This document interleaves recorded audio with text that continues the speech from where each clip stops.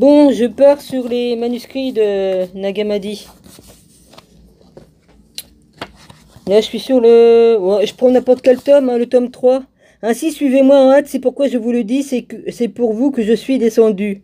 Vous êtes les aimés, vous serez parmi beaucoup les auteurs de la vie. Invoquez le Père, demandez à Dieu bien des fois, et il vous donnera. De même que plusieurs lampes peuvent être allumées à une seule, et que ce n'est, et que ce n'en est, et que ce n'en est pas moins une seule et même lumière, alors que les lampes ne deviennent pas plus faibles, l'éros aussi se répand parmi toutes les créatures du chaos, n'en deviennent pas plus faibles. Les roues, c'est les roues ou les roues ou les rosses L et majuscule, c'est pas attaché, R O S, les rosses ou les roues? Ouais, je, je connais pas. Ouais. Alors le soleil deviendra obscur et la lune perdra sa lumière. On va bientôt y arriver. On, s'approche de tout ça. Les étoiles du ciel abandonneront leur trajectoire. Bah, c'est fait, il y en a.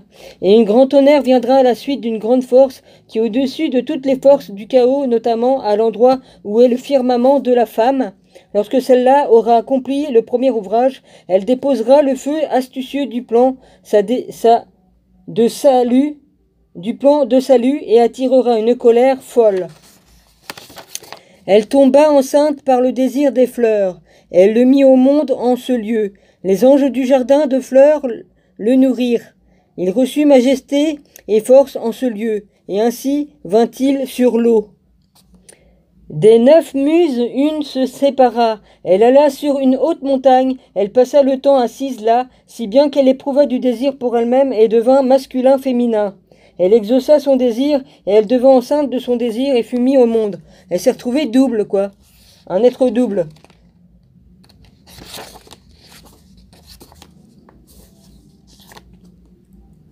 Hmm. Ouais, toute reproduction partielle par quelque procédé que ce soit est interdite. Et je l'ai payé le truc et je donne pas de nom ni quoi qu'est-ce, alors ça va, hein euh... puis même les livres qui sont dans les, les trucs qui prennent l'humidité, avec toutes ces tisanes qu'il fait, là, il me fout de l'humidité partout, je peux pas... Qu'est-ce que je vous dise? Mes livres se trouvent abîmés, tout se trouve abîmé à cause de ces conneries de tisanes, là. Putain de merde, ça fait chier. Je vais perdre tous mes bouquins. Bon, alors, les petits traits indiquent une lacune dans les manuscrits, les crochets, tatati tatata, voilà, je vais pas lire tout ça. Les actes de Pierre et des douze apôtres. Molien. Ça, je peux pas le lire. Il n'existe aucun témoignage extérieur dans la littérature chrétienne ancienne de ce petit écrit au nom étrange. Les actes de Pierre et des douze apôtres. Ce texte retrouvé n'est en fait qu'une traduction copte le dialecte est un saïdique avec un arrière-plan nordique et n'en conserve que sous forme d'une seule copie. La langue copte dans laquelle les actes sont fortuitement conservés ne peut pas être la langue dans laquelle le texte original a été conservé. Il s'agit plutôt d'une traduction du grec. La réponse à la question de savoir où le prototype des actes est né, on ne peut guère trouver de réponse. Le texte ne contient aucun indice direct relatif à son lieu d'origine. Mais peut-être y a-t-il quelques autres traces laissées dans le texte par sa région d'origine, mais que nous ne savons pas encore. Lire sous ce point de vue trois faits sont remarquables. Selon le contenu et la tendance du texte, il est difficile de le comprendre comme le produit de la grande Église en devenir. L'idée la plus proche est plutôt qu'il appartient à une variante, à une variante, pardon. Ah, j'y vois rien à une variante tout à fait déterminée du christianisme et qui est née au sein d'un groupe fermé relativement petit. La manière particulière dont acte... Pourquoi vous acte P, P je ne sais pas ce qui est écrit, j'arrive pas à lire. Acte montre être la pauvreté fait irrésistiblement penser à l'ébobionisme. La trace la plus importante est peut-être la figure de Litar Goel, Litar Joël, Goel, enfin je sais pas comment ça se prononce, qui le domine. Le texte en cas notamment où l'Itar Goel soit à proprement parler et originalement le la figure clé d'une traduction originalement juive bien déterminée, jusqu'à présent à peine tangible. La manière dont le texte propage l'accès rappelle la pauvreté ambulante syriaque et dirige ainsi nos pensées vers les vases espoirs de la Syrie, mais d'autres traces indiquent Alexandrie. Même pour répondre à la question de l'époque et du de la rédaction des actes, on ne trouve pas un indice utilisable dans le texte. On est donc réduit aux conjectures et très globalement, elles tournent autour du deuxième et du troisième siècle. Mais il faudrait envisager sérieusement que les actes ont été rédigés dès le deuxième siècle. En tout cas, il est important pour les essais de datation de considérer comment les actes se réfèrent au Nouveau Testament. Il est en effet frappant de constater que la relation directe et univoque à certains passages du Nouveau Testament sont très rares, voire quasiment inexistants. Les, sources auxquelles les actes puissent l'essentiel de leurs idées, puisent l'essentiel de, de, leurs idées et leur matière sont manifestement pas des écrits du Nouveau Testament, mais de, quelque, de quelconque traduction apocryphe. Ensuite, les actes sont un texte extrêmement bizarre. Ce qui est raconté semble mi-réalité, mi-rêve, mi-histoire, mi-conte, mi-légende apostolique et mi-description de vision, de vision ou allégorie, même de la paréthèse de l'ordre de l'Église, sont en jeu. La description est inorganique, traversée de doublés, de contradictions et d'absurdités. C'est pas moi qui le dis, hein, c'était qui le marque. Et pourtant, la composition réussit à donner l'effet d'une unité fermée sur soi. Les actes appartiennent sans doute à à aucun type de texte réellement existant et naturel, mais sous un grand texte hybride qui s'est formé par association anorganique de textes singuliers, appartenant à des types de textes de chaque acte, soit en, en fragments transmis isolément du premier tiers perdu des anciens actes de Pierre. Bah, ils ont perdu pas mal de trucs, donc euh, ça c'est sûr, hein. Les actes sont un texte chrétien. Les questions est seulement de savoir s'il doit être qualifié de chrétien gnostique ou s'il est attribuable à la grande église en train de se constituer. Donc s'il est donc s'il est orthodoxe ou vulgairement chrétien, même s'il est seulement exact que les actes ne sont pas d'origine et de nature gnostique, cela ne veut pas dire automatiquement qu'ils ont dès le début toujours appartenu à l'ensemble de l'Église. C'est déjà un christianisme spécial, même s'il n'est pas gnostique, qui s'articule ici. Mais comme il se soutenait, comme il ne soutenait aucune thèse hérétique, son produit littéraire devrait sans doute rapidement être devenu le livre d'édification d'un assez grand public d'église, avant même qu'il ne devienne intéressant pour la gnose chrétienne.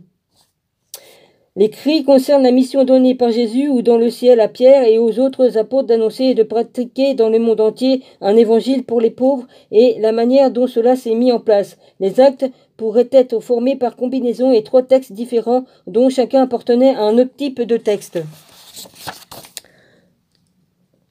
C'est quoi ce, le truc là m'énerve La lentille, elle se met toujours sur le là où il y a le compteur. Comment voulez-vous que j'arrive à voir?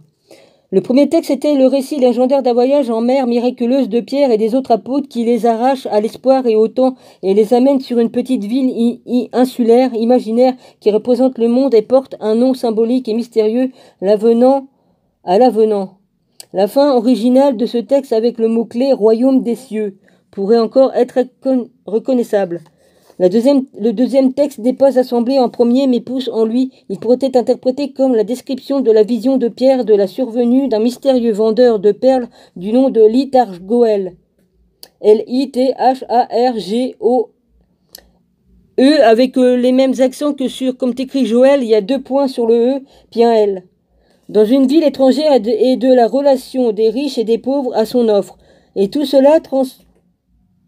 des riches et des pauvres à son offre et tout cela transparent, transparent comme une allégorie, et est le symbole de l'annonce du salut par Jésus et de son résultat dans le monde. Le troisième texte trahit son caractère original par l'accumulation de motifs que l'on ne connaît d'ailleurs que dans les histoires de Pâques. On peut bien penser que ce texte se jouait comme une histoire de Pâques ou de la Pentecôte devant l'une des portes de la Jérusalem réelle, où les onze disciples, sous la direction de Pierre, devaient rencontrer Jésus ressuscité, mais à la place de Jésus arrive en médecin et son aide, qui se présente comme Litargoël, mais qui finalement, après avoir déposé l'habit de médecin au moyen de linge funéraire qu'il porte dessous, marqué des, stigmates, se fait reconnaître comme Jésus, le crucifié et le ressuscité. Ça fallait que je lise. Bon, bah vas-y. Le texte. Parole qui occasionne de la manière suivante, il se passa lorsque nous fûmes envoyés comme apôtres que nous et à l'âme en bateau, en, il manque des mots, donc euh, je peux pas les dire, du corps avec d'autres, qui se faisaient du souci dans leur cœur, et nous prîmes sur le champ une décision et convinrent d'accomplir le service auquel le Seigneur nous avait destiné. Nous établîmes entre nous une entente et, partîmes pour la mer à un moment favorable qui s'était présenté à nous par le décret du Seigneur. Nous trouvâmes un navire à l'ancre sur la rive qui était prêt à partir, et nous parlâmes avec les matelots du bateau pour aller avec eux, à bord. Eux, toutefois, étaient très amicaux avec nous, comme ils avaient auparavant été déterminés par le Seigneur.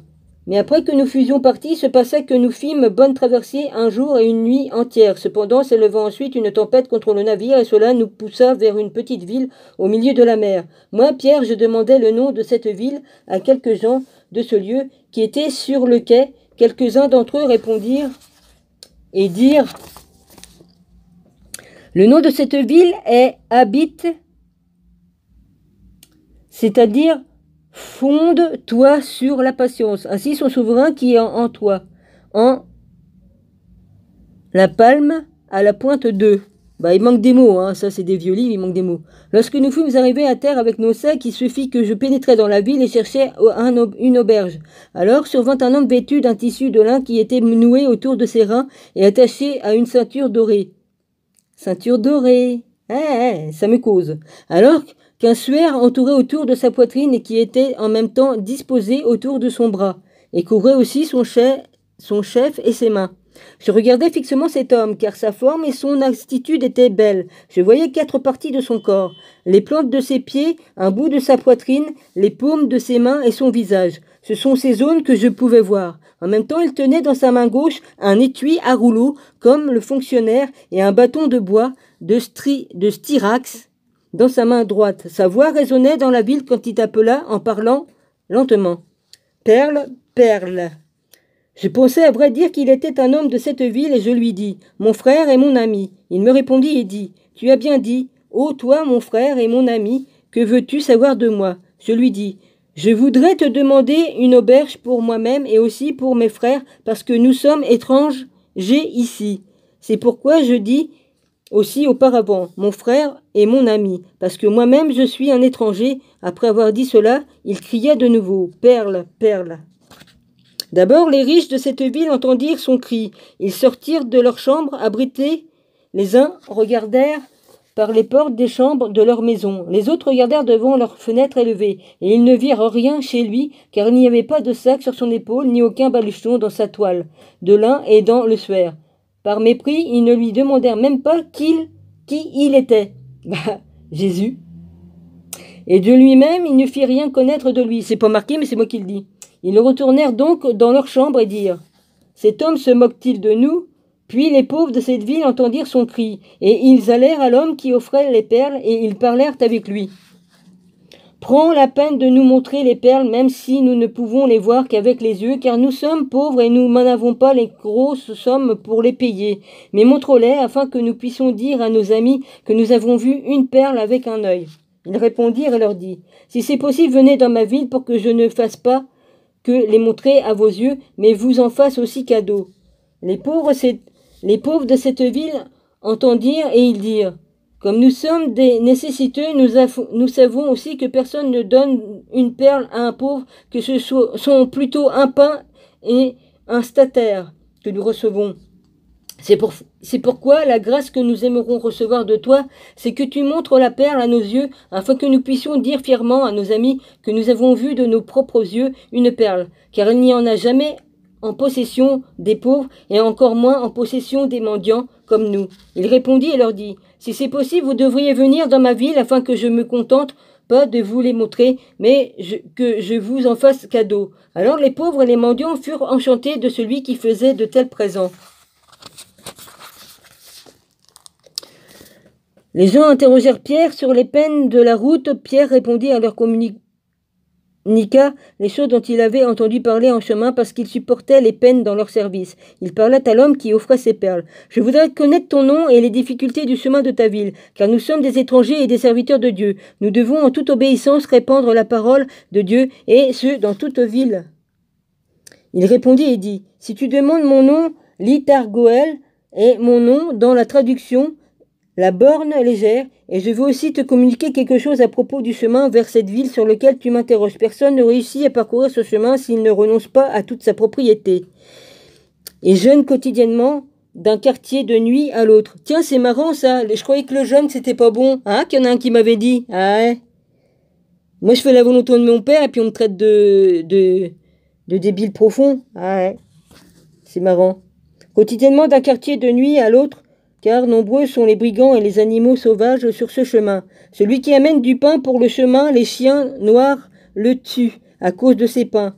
Celui qui prend les habits mondains coûteux, les brigands le tuent à cause du vêtement. Celui qui prend de l'eau, les loups le tuent en raison de l'eau, car ils ont soif. Celui qui se pourvoit de viande et de légumes, les lions le dévorent à cause de la viande. S'il échappe aux loups, les taureaux le piétineront à cause des légumes. Lorsqu'il m'eut dit cela, je ressoupirai par divers mots et dis Oh, les grandes peines de ce chemin, oh, que Jésus nous donne la force pour que nous puissions le parcourir. Il remarqua avec quel triste visage je soupirais et me dit Pourquoi soupires-tu? Si tu connais ce nom Jésus en, croix et crois en ah, pourquoi soupères-tu si tu connais ce nom Jésus et crois en lui? C'est un nom qui est assez grand pour pour donner de la force. Car moi aussi je crois au Père qui l'a envoyé. Je lui demandai aussitôt Comment s'appelle le lieu où tu vas à l'instant et qui est ta ville? Il me dit Ceci est le nom de la ville. En neuf portes, Dieu nous fait rendre grâce songeant que la dixième est la porte principale. Alors je le quittai en paix pour aller appeler mes compagnons. Je vis que les vagues et des, murs d'eau hauts et puissants entouraient la rive de la ville et m'étonnaient de ces prodiges que je voyais. Je vis un homme grisonnant assis là et il demandait et lui demandait le nom de la ville, si réellement le nom était celui qu'il lui avait donné. Quand il l'avait appelé, habite patience. Il me dit, vraiment, nous vivons ici parce que nous sommes patients. Mais je répondis et dis, à juste titre, les hommes l'ont appelé la première vertu, car tous ceux dont les tentations seront patientes habiteront des villes, et il résultera un magnifique empire parce qu'entre-temps, elles attendront patiemment les vagues et les assauts des tempêtes, et cela sert de comparaison pour le fait que la ville de chacun qui porte la paix de son joug de croyance sera habitée et qu'il sera compté au règne du ciel. Je partis vite et appelai mes compagnons pour que nous allions à la ville que l'Itargoël avait indiquée. Ferme dans la foi, nous renonçâmes à toutes les choses dont il nous avait dit. Nous l'avait dit. Nous échappâmes aux brigands car ils ne, trouvèrent aucun vêtement pour eux chez nous. Nous échappâmes aux loups car ils ne trouvèrent pas d'eau chez nous, dont il était assoiffé. Nous échappâmes aux lions car ils ne trouvèrent pas chez nous la viande dont ils étaient avides. Nous, échappâmes aux taureaux car ils ne trouvèrent pas de légumes. Alors une grande joie nous envahit, une tranquillité d'âme paix. Dans notre Seigneur. Il manque un mot, euh, je peux pas le mettre. Nous nous reposâmes à la porte et nous nous entretîmes entre nous. Ce n'était pas un entretien sur ce monde, mais nous étions constamment en dialogue vif sur la foi et nous représentant les bandits de grand chemin auxquels nous avions échappé. Et voici l'Itargoël sorti sous une autre forme que celle qui nous lui que nous lui connaissions, à savoir sous la forme d'un médecin qui portait une petite boîte à médecine sous l'aisselle et qui suivait un, un élève avec un coffre plein de médicaments, mais nous ne le reconnûmes pas. Alors Pierre prit la parole et lui dit Nous te prions de nous faire l'amabilité parce que nous sommes étrangers ici et nous conduisons à la maison de l'Itargoël avant que ne vienne le soir. Il dit le cœur sincère, je vais vous le montrer, mais je m'étonne que vous connaissiez cet homme bon, car il ne se montre jamais à quiconque parce qu'il est lui-même le fils d'un grand roi. Reposez-vous un peu entre-temps. Je vous allez rendre la santé à cet homme chez qui je suis en train d'aller. Puis je reviendrai. Et il se hâta et revint rapidement. Il dit à Pierre, Pierre. Mais Pierre s'effraya qu'il connaissait son nom. Pierre répondit au libérateur. D'où me connais-tu pour pouvoir m'appeler par mon nom? Alors l'Itargoël répondit. Je vais te demander quelque chose qui t'a donné ce, nom, Pierre. Il lui dit, c'est Jésus-Christ, le Fils du Dieu vivant. Il m'a donné ce nom. Il répondit et dit, c'est moi, reconnais-moi, Pierre. Il se défie du vêtement qu'il portait et par lequel il s'était rendu méconnaissable pour nous.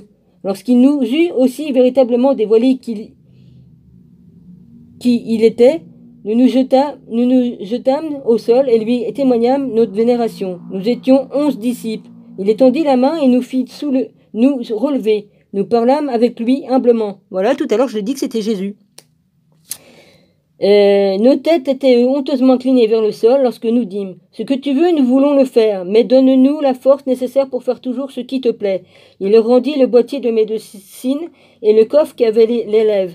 Il leur donna la consigne suivante en disant Revenez à la ville dont vous êtes venus, qui s'appelle Habite et garde patience, et enseignez à tous qui sont arrivés à la croyance en mon nom, afin que eux aussi aient patience dans la peine de la foi. Moi-même je leur donnerai leur salaire. Vous devez donner aux pauvres de cette ville ce dont ils ont besoin pour vivre jusqu'à ce que je leur donne ce meilleur bien. Donc je vous ai dit, j'en ferai un cadeau. Alors Pierre répondit et lui dit, Seigneur, tu nous as enseigné à renoncer au monde et à tous ses biens. Nous l'avons abandonné en ton nom. La nourriture pour un seul jour est ce que nous cherchons. Où pouvons-nous retrouver le nécessaire que tu nous demandes de donner aux pauvres Le Seigneur répondit et dit Pierre, il serait nécessaire que tu comprennes les paraboles que je t'ai dites. Ne sais-tu plus que mon nom, que tu en, Il y a deux pages ou pas? Que mon nom tu enseignes est plus précieux que toute richesse, et que la sagesse de Dieu est plus précieuse que l'or, l'argent et les pierres précieuses. Il leur rendit le coffre avec les médicaments et dit Guérissez tous les malades de cette ville qui croient en mon nom. Pierre redouta de lui faire pour la deuxième fois une objection. Il donna à celui qui était le plus près de lui, c'était Jean, un signe. Toi, parle maintenant. Alors Jean répondit et dit Seigneur, nous, ne, nous te craignons trop pour tenir de longs discours, mais tu réclames de nous que nous exercions cet art. Nous n'avons pas été formés à lui pour pouvoir agir comme médecins. Comment pouvons-nous donc avoir la faculté d'accomplir des guérisons sur des corps comme tu nous l'as demandé? Il lui répondit Tu as dit excellemment, Jean. Je sais que les médecins du monde ne guérissent que les malades du monde, mais les médecins des âmes guérissent le cœur. Guérissez donc d'abord le corps afin que sur la base de ce miracle visible de la guérison de leur corps qui a lieu sans médicaments de ces éons, il croit que vous avez toute puissance pour guérir aussi les malades du cœur. Mais les riches de cette ville, ceux notamment qui n'osent pas même considérer comme nécessaire de me demander qui j'étais, mais se réjouir à leur richesse et à leur mépris de l'homme. Avec ces gens, vous ne devrez même pas manger ensemble dans leur maison et ne devrez absolument avoir aucune communauté avec eux. Aussi, il ne leur arrivera pas de vous préférer. Beaucoup, en effet, ont déjà préféré les riches, car là, où il y a des riches dans les églises, ils pêchent eux-mêmes et induisent les autres à pécher. Vous devez plutôt les juger avec pureté, afin que votre service soit loué et que mon nom le soit aussi dans les communautés. Alors les disciples répondirent en dire, et dirent Oui, en vérité, c'est qui c'est ce qui doit être fait. Ils se jetèrent sur le sol et lui témoignèrent leur vénération. Il les fit se relever et les quitta en paix. Amen. Bon, bah j'arrête là, il est 20, 23, 17 minutes, euh, j'arrête. Soyez bénis, tout ça, je vous embrasse, et puis voilà. J'espère qu'elle va passer celle-là. Hein. Voilà, gros bisous.